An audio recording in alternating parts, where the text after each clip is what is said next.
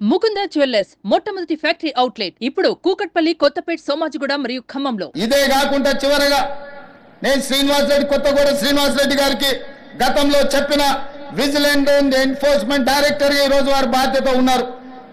ఎట్లయితే సైన్యంలో పనిచేసే సైనికులకు సైనిక్ స్కూల్ ఉందో తెలంగాణ రాష్ట్రంలో పోలీస్ డిపార్ట్మెంట్లో పనిచేస్తున్న హోంగార్డు నుంచి డీజీపీ వరకు సైనికులకు ఎట్లయితే సైనిక్ స్కూల్ ఉందో పోలీసులకు కూడా ప్రత్యేకంగా ఒక రెసిడెన్షియల్ పోలీస్ స్కూల్ మొదలుపెట్టి యాభై ఎకరాలల్లా అద్భుతంగా ఈ దేశంలోనే అత్యంత నాణ్యమైన విద్యను అందించే బాధ్యత తెలంగాణ రాష్ట్ర ప్రభుత్వం తీసుకుంటుంది.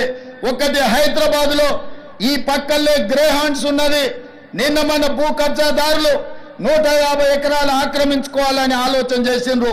అందులో యాభై ఎకరాల స్థలాన్ని ఇక్కడ రెండవ స్కూల్ వరంగల్లో యాభై ఎకరాలు కేటాయించి మీ అందరికీ సిక్స్త్ క్లాస్ నుంచి పీజీ వరకు డాక్టర్లు ఇంజనీర్లు కూడా చదువుకోవడానికి పోలీసుల పిల్లల కోసం నూటికి నూరు శాతం ఉచిత విద్యను అందించడానికి మా ప్రభుత్వం కట్టుబడి ఉన్నది.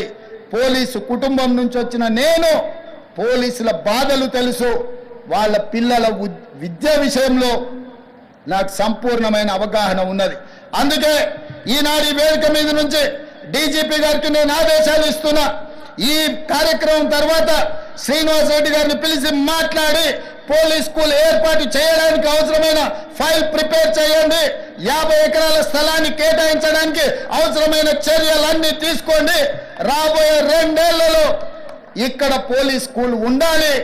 హోంగార్డు నుంచి డీజీపీ వరకు ఏ హోదా అయినా మీ పిల్లలు చదువుకోవాలంటే అందరు ఒకే దగ్గర చదువుకోవాలి ఒకే దగ్గర ఉండాలి ఒకే దగ్గర తినాలి ఒకే దగ్గర పడుకోవాలి. అప్పుడే ఈ అంతరాలు తగ్గుతాయి. మీ పిల్లలు సుశిక్షితులైన భారతీయులుగా మారుతారు. అందుకే మిత్రులారా పోలీసుల యోగక్షేమాలు పోలీసుల యొక్క సమస్యల్ని తీర్చే బాధ్యత నాది. మీరు నిశ్చింతగా ఉండండి.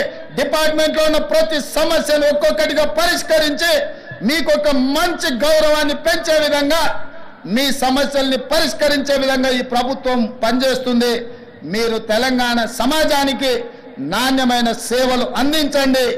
పోలీసు గౌరవాన్ని పెంచండి. పోలీస్ అంటే సమాజంలో చేతులెత్తి నమస్కరించే విధంగా మన వ్యవహార శైలి ఉండాలి మన నిర్ణయాలు ఉండాలి. మధ్యలో మధ్యలో అక్కడక్కడ టీవీలలోనో సినిమాలలోనో చెప్తుంటారు ఫ్రెండ్లీ పోలీసింగ్ ఉండాలని. నేను కూడా ఒప్పుకుంటా ఫ్రెండ్లీ పోలీసింగ్ ఉండాలని. ఫ్రెండ్లీ పోలీసింగ్ ఎవరితోని? క్రిమినల్స్తో ఫ్రెండ్లీ పోలీసింగ్ కాదు. బాధితులతోని సమస్యల మీద కష్టాలలో కన్నీళ్ళతో పోలీస్ స్టేషన్లకు వచ్చిన వాళ్ళతోని ఫ్రెండ్లీ పోలీసింగ్ ఉండాలి తప్ప క్రిమినల్స్ తోని కాదు. క్రిమినల్స్ పట్ల కఠినంగా వ్యవహరించండి.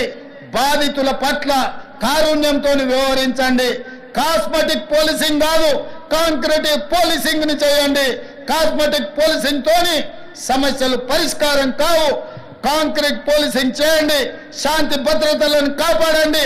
శాంతి భద్రతలు ఉన్నప్పుడే ఈ రాష్ట్రంలో పెట్టుబడులు వస్తాయి. పెట్టుబడులు వస్తేనే నిరుద్యోగ యువతి యువకులకు ఉద్యోగ ఉపాధి అవకాశాలు వస్తాయి.